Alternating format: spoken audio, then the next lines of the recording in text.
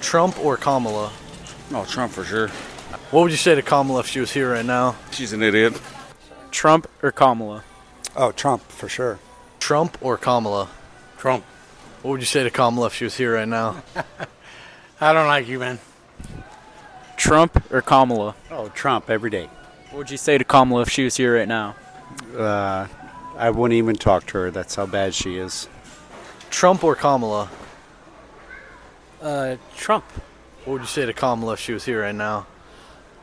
Keep walking. Trump or Kamala? Trump. Excuse me, sir? Trump or Kamala? Trump.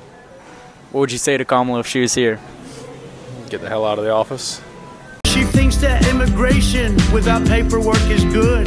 Clearly, not too much power underneath Kamala's hood. Borders are. All right, y'all. This might be the best Scamala ad you've ever seen. Let's get it poppin'. When Joe and I opened the border, flooding America with tens of millions of illegal aliens, we thought voters would think we were kind and generous. You serious? But it turns out Trump was right. They're not sending their best. They're not sending their best. Turns out that they are, in fact, bringing drugs, bringing crime, bringing their rapists, and apparently they're eating the cats. Eat the cat.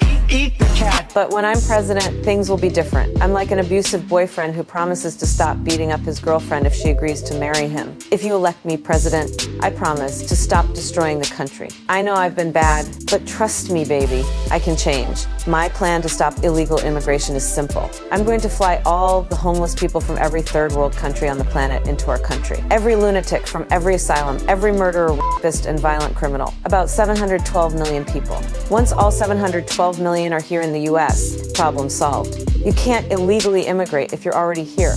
Even Republicans have to admit that's good logic.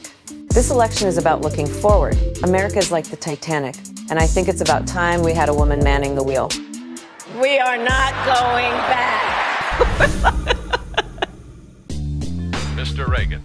Now, that right there is what I call gooder than chicken, folks. My man, Mr. Reagan, strikes again with another impeccable truth bomb exposing the evil through comedy. God bless him for always having the best ads on the entire internet and putting in all the effort that goes into making these. Definitely go show him some love by subscribing to his channel, which I link down below in the description section. And I think my favorite part was when she said, I know I've been bad, but trust me, baby, I can change. I know I've been bad, but trust me, baby. I can change. Nah, I don't trust you. So, Lion Kamala, you're fired. You're fired.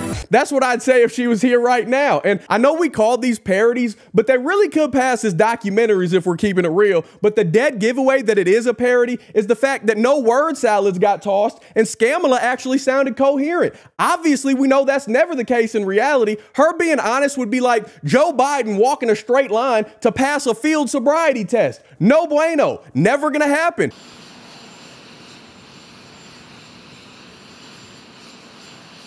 And looking holistically at the connection between that and housing and looking holistically at the incentives we in the federal government can create for local and state governments to actually engage in planning in a holistic manner that includes prioritizing affordable housing. Now, the cackling commie is right about one thing. We ain't going back to her in the White House. We, the people with common sense and attached brain stems, we're going to do our best to make sure of that. And to all you folks that are still dazed and confused, thinking that we need our first woman president, remember, she's the first woman VP and couldn't handle that job without screwing things up. What do you think would happen with her as commander in chief? Are you kidding me? No, thank you. Forget all that DEI garbage. I want a leader, not a career politician liar. Men were created to lead, not women. Things have gone cattywampus enough, and I'm voting for the future of my country, for the Second Amendment, for the republic in which we live, for police and law and order. And I'm voting for the military and veterans who fought and died for this country, for the red, white, and blue that needs to be stood up for and honored, for the right to speak my opinion and not to be censored for it. I'm voting for secure borders again, for a giant wall wall or whatever it takes to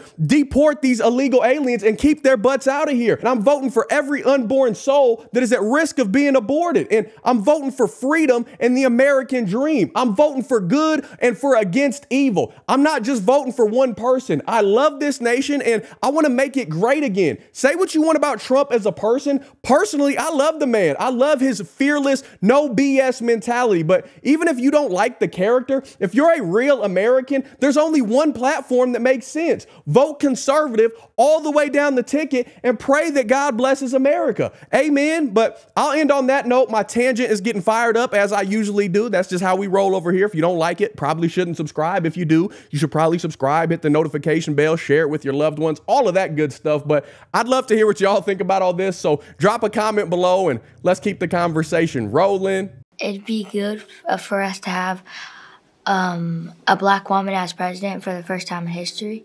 Yeah. But um, my vote's kind of still on Trump. Don't forget to hit that like button, subscribe if you're not already, ring the notification bell so you get notified anytime I post a new video. If you like what I'm doing over here and you want to show a little extra love and support, make sure you go check out our website down below in the description section. That way you can get all the awesome shirts that you see me wearing in every single video. They're all made by my smoking hot wife with tons of different designs to choose from. Sizes ranges from itty bitty extra small to big, big and hefty 5X. I'm sure we got something that you'd like or a great gift for someone that you love. Outside of that, you can always join the Gibson family here on YouTube and become a member by clicking that join button. You can buy me a coffee. You can join the Patreon family. All those links are down below as well. By no means do you have to do any of that. Just showing up and watching my freckle face on your screens for a few minutes. I'm greatly appreciative. I love y'all and I can't thank you enough for rocking with me throughout the years. Until next time, I'll be praying for you. Godspeed. I'm gone.